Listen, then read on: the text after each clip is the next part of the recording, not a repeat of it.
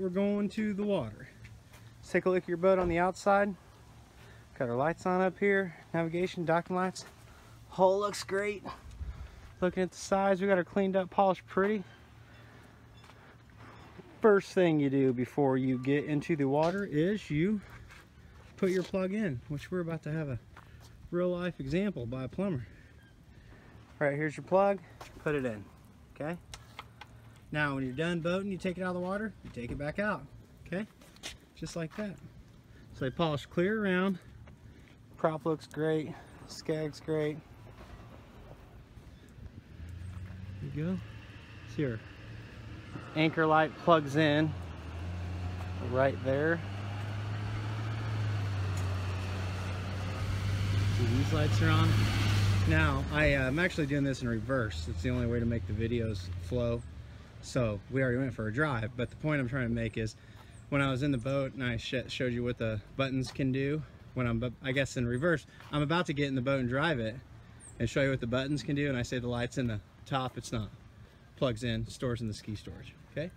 So now let's go have some fun, shall we? Okay, we're out here on your boat.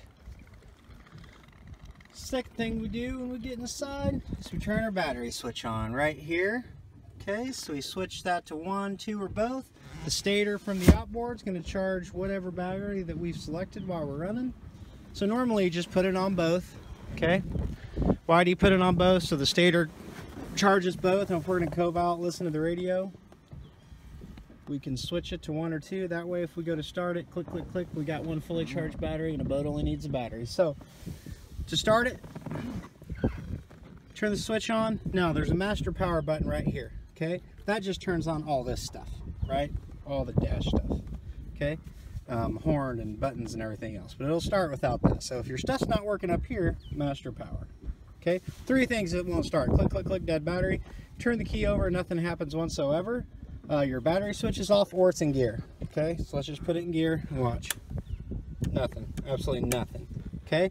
If you turn the switch and it just turns over and turns over and turns over and won't fire like this, won't start, it's the kill switch. It's a safety feature, okay? So the three things, click, click, click, dead battery, turn the key, nothing happens. Either it's in gear or your battery switch is off. Turn the key and it just turns over, won't fire. Safety switch. We interrupt our program to bring you this important message. Otherwise, we just turn the key. Just like that. Now it's super quiet. Can't even hardly hear it run, but you can see the water coming out okay? Shifting on all outboards is a little loud. There's a catch right there, definitively and forward, okay? Neutral, reverse, you lift up to engage it in gear, definitive catch, and your throttle range is beyond that. Hear that? Never back up too fast in reverse, you can catch a wave, okay? So, let's get out there and have some fun. All right. Tilt and trim gauge right here, that raises and lowers the outboard. See the gauge coming up? See it going down. See the motor coming up, I think. Yep, see it going down. Okay. Got our Hillbilly GPS right here, compass. Let's see, what's this? Got our tachometer, we got our fish finder coming on. You have to hit the power button for that. Shows our depth. Let me, this is in a tilt wheel, sorry. So you hit that button right there. Now let me go down even further you see it better? So that shows our feet, our feet, how many feet of water we're in. We know how accurate these are because once I hit these no wake buoys up here, it's about 50. Okay, speedo, we won't know till we're moving. Fuel's fuel. Good Lord, Brandon. Fuel is full. Okay, the radio's right here. Got a CD player. God knows what this is. Let's just turn it up and find out. Okay. Put some new speakers in there horn, driving unites and navigation, that's the red and green and the white. In the middle's off, anchor light stopped tonight. it's built in on the bimini top. If you notice when Billy was doing the me filming me in circles, I was plugging it in, okay? Bilge pump, docking lights are the headlights, courtesy lights are on the floor, fresh water if it had a water tank, depth finder, it's our, it's got a different one, it's not like a little in-dash one, it's this big fancy one here. Accessories, sometimes you don't know till nighttime, so your stereo buttons there. It's got little reset breakers down here if something's not working. Stereo sounds good. Turn it back down so we can talk. Now let's take a look at our condition. So I'm going to do a real good job on these seats for you, okay? Because I know you're concerned. So let's do seat backs. Back. Okay, and then let's go down so we don't get dizzy. Center seat, corner seat. Get my head out of the way. Front seat. Okay, you know we got storage underneath it. The table's also underneath there. You've already seen the boat, so that helps. So here's vinyl repair right there. Bottom seat. Okay, there's a vinyl repair right there we did. Backrest, sides. I'm gonna hit the dock. Okay, you see your cooler and sink. Probably shouldn't leave in gear. I'm on my mouth, should I? There we go. Okay, this backrest. Let's the sides. Okay. Let's do bottom. Now, when we bring this, we're gonna have to take any seats that's not hinged out. We're gonna have to roll the carpet up. Okay, so it may get a little dusty on the way there, but nothing I can do about that. At least it'll make it there in one piece. Captain's chair, flip up bolster. That's the orange bug I was whining about on the phone. Where it hit. Okay. Now let's go for a ride.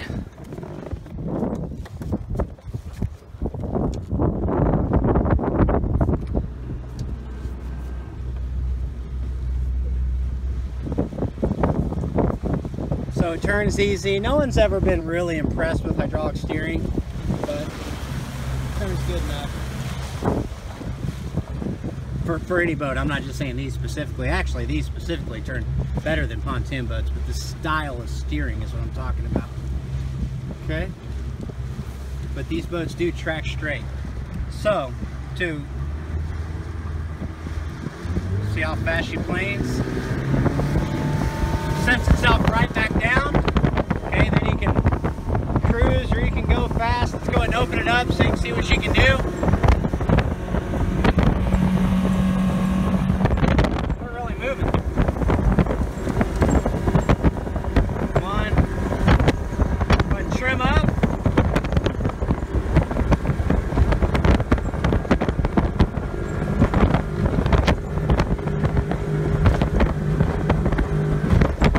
So, let's see where you can hear me again.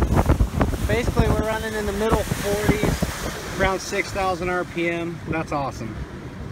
So, runs absolutely excellent. Let's take one more kind of quick peek around the boat so I can explain that. Got our bow filler cushions up here if you want to make this into a big sun pad up here. You know, it's got a brand new full mooring cover with it. We got cooler underneath this seat, ladder, locker storage for a anchor, storage underneath these seats, uh, sink, trash can, cooler, ski storage in the floor, storage underneath the, these seats. See our Bimini top. It's not missing any pins, so that's good. See all the pins here? Check this side. Nope, not missing any pins. These are the trailer struts, these shorter arms. We're gonna put these on and we're gonna collapse this one, okay? Actually, it goes in down there. We got storage, storage, access, storage, bumper storage, okay? Ski tow bar. Um, there's the hydraulic steering I was talking about. So there she is. So we're gonna go get it back on the trailer and I'll do my exterior video. I just wanna walk you through a few things. Taking these boats in the water is easy, okay? Taking them out of the water gives people trouble because they get the trailer too deep in the water. You see how I can see my guide bunks I can see my front bunks? So Billy's simultaneously recording me. As long as I can see what I where I need to go, I can drive it right on there really easily, okay? This trailer is made for this boat, only for this boat. So it can't get crooked if we just get it towards the middle. But if we have the trailer too far in the water, we can mess it up pretty easy. So just nothing herky-jerky, just slow and steady, applied pressure. See, I'm not give goosing it, just kind of easing it on with what direction he tells me to do. Okay, I'm leaving my throttle down.